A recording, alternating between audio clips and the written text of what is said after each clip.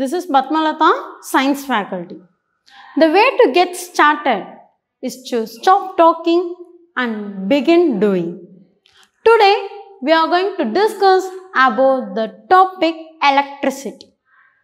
So, electricity, we used to come across the word, right? Whenever we want to do anything, if you want to watch the TV, you have to switch on that whenever you want to do something like uh, preparing any food items you used to run a mixer grinder right? So what helps them to run? The electricity right? So nowadays we people feel it very much efficient to run this electricity. Just think about the olden days about our ancestors how did they do? They don't have any electricity before right so how do they make the light?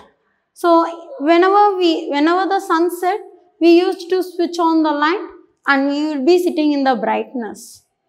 But in olden days they don't have such a facility. So our ancestors they depend on fire for light warmth and also for cooking. So in order to cook also they used to get the firewood from the forest. With the help of the firewood, they used to burn it and they use, and they cook the food for their life. Okay. So and also if they feel so much cold, they will be sitting in front of the fire. This fire gives us light as well as heat. Okay. Are we doing the same now? No. We are very much blessed with the help of this electricity. If we want to sit in the brightness, we just switch on that. What happens? The different colored light will be glowing. When we want to cook, we have an induction stove nowadays. We have gas stove as well as the induction stove. If the gas is over, we will be moving to, on to the alternate induction stove. When we switch on, this will prepare us the food and give it to us. If we feel so cold, we have room heater. So, we will be switching on. So, with the help of this electricity, we are very much blessed to have everything handy. So, without electricity, we are not living. So, right from your wake up till you go for the bed, we depend on the electricity. Right? Whenever we feel so sweat, we used to switch on the fan, AC. How it is running? With the help of the electricity. Do you think it is used only in homes? No. Besides home, it is very much helpful in colleges, schools, communication systems and many more industries and factories. So in order to manufacture any things, they are using the machines. How they will run the machines? With the help of the electricity. So this electricity plays a vital role in our life. So let's move on to our video. So let's see what is the history of electricity. How it is being invented. So this electricity is not a new thing to invent. It is just present. We have to discover it. We have to upgrade it. Okay. If you see a Greek philosopher named Thales of Miletus, he was the one to discover the concept of electric power. He was the one of the person, he is the one of the Greek philosopher named Thales of Miletus who found the electric power. He just move on by found by finding the electric power. If you see this person found the concept of electric power by rubbing a piece of amber on a fur. So fur or wool. Okay, it's nothing but the a woolen cloth. Right. So he just rubbed a piece of amber. Amber is nothing but the fossilized wood. It is used in ornaments and for the decoration purpose. Okay. So he just rubbed this piece of amber on a fur of fur and he found that After rubbing, these pieces attracted the small pieces of dust. This amber attracted the small pieces of dust particles and some other small particles. He was very much surprised to see that. So, he wants to know what makes that amber to attract the things towards itself. So, he found that there is some electric power present in that. That's why it is attracting the things. The scientist named Benjamin Franklin in the year of 1759, he stated that electric power is of two types. There is two charges, positive charge as well as the negative charge. So he needs to prove that, right? So he made a kite experiment. He made the kite in the form of silk cloth and he tied the rope at the one end of the kite and the other end he suspended with a key. It's nothing but a metal key. And uh, on the tail of the kite, he kept a bell jar with a metal string. Okay, he made the setup of the kite. He flew this kite during the thunderstorm. During the lightning and the thunderstorm, he just flew this kite to make his experiment. He needs to prove it consists of two types of charges, right?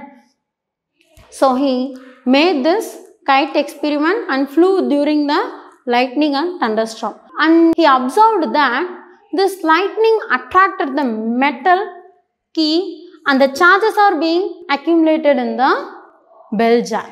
That charges is of negative charges.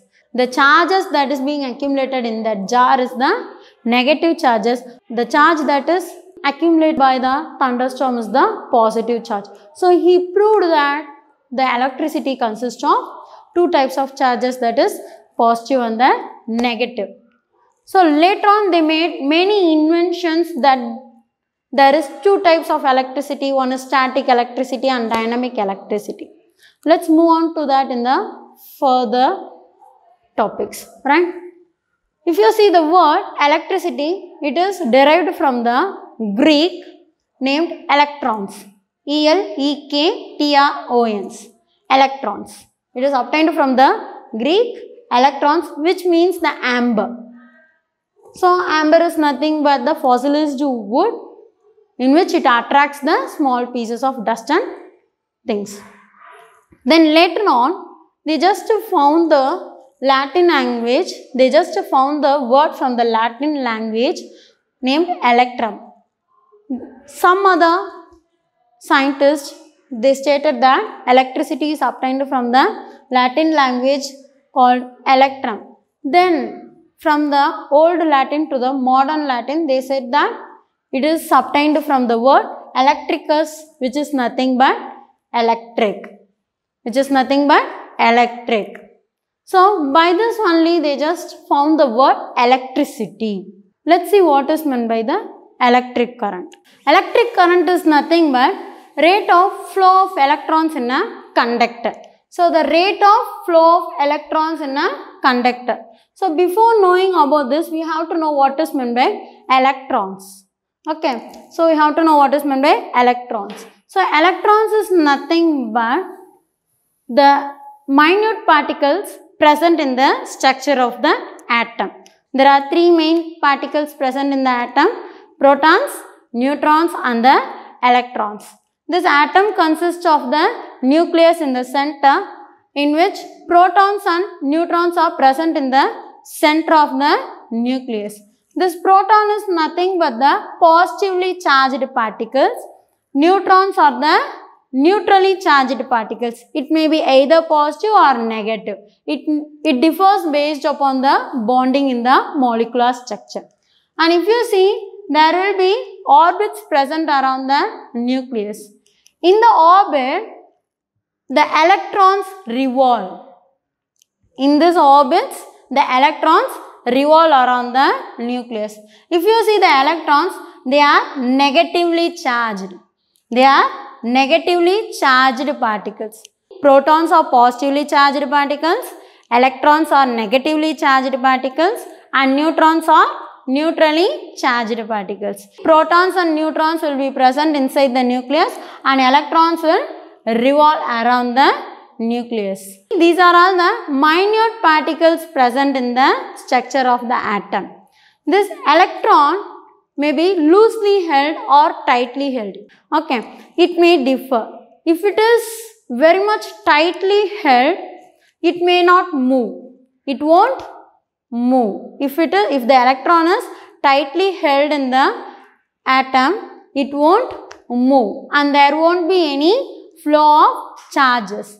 If it is loosely held, the charges will move and that forms the electric current. If the electrons move, we can say that charges move and it produces the electric current. So now listen, rate of flow of electrons in a conductor is called a electric current. So how, how many electrons are moving? How much electrons are moving? The based on that the electric current flows in a conductor. So conductor is nothing but the material which allows the electricity to flow through it. So what is meant by electric current? The rate of flow of electrons in a conductor. Okay, so if you see the symbols for the proton, neutron and the electron, proton will be given in the form of plus, neutrons it will be given in the form of circles and electron always will be negative so minus. Okay, these are all the symbols of the electron. So, students, I hope this will be very much helpful for you. In this session, we have discussed about the electricity, the history of electricity, how it is being invented and discovered. Then later we have discussed about what is meant by electric current and the structure of the atom. Let me see you in the next video. Thank you and bye-bye.